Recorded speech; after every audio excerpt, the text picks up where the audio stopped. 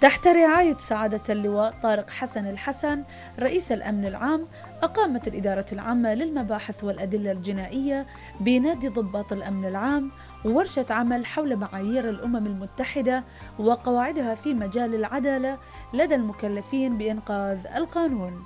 والتي تركزت محاورها حول حماية حقوق الإنسان والحريات ومعايير الرقابة والنزاهة للعمل الشرطي وسبل الدعم وآليات الرقابة وفق معايير الأمم المتحدة وحماية الفئات المستضعفة مع التركيز على النساء والأطفال. طبعا تأتي ورشة العمل هذه أو ما نسميها بالندوة الوطنية في إطار الشراكة الاستراتيجية التي نشرف بها مع وزارة الداخلية ووفقا لمذكرة التوهم التفاهم الموقعة مع معالي الفريق الشيخ راشد الخليفة وزير الداخلية. بهدف معاونة وزارة الداخلية في تطوير منظومة العدالة الجنائية وإنفاذ القانون لأجهزة الشرطة وفقا للتوجيهات السامية لجلالة الملك بهذا الشأن.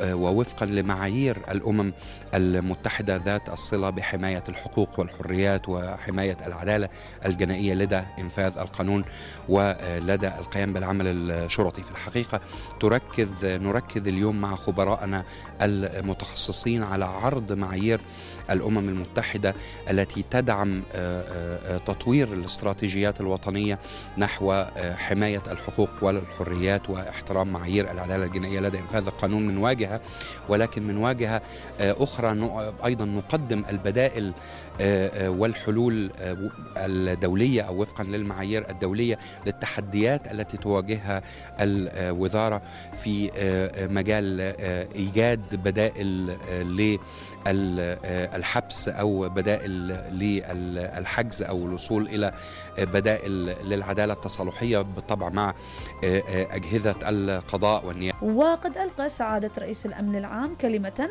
نقل خلالها تحيات معالي وزير الداخلية وترحيبه بالمشاركين في الورشة على أرض مملكة البحرين التي يسعدها دائما أن تستضيف مثل هذه الفعاليات التي تسهم في خدمة البشرية في كافة المجالات وعلى جميع المستويات الإقليمية والدولية.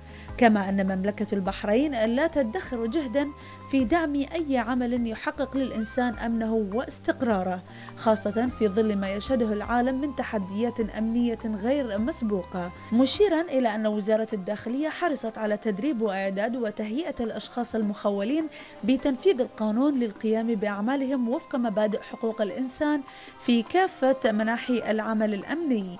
بهدف ترسيخ المعايير الدولية لحقوق الإنسان في العمل الشرطي لمنتسبي وزارة الداخلية.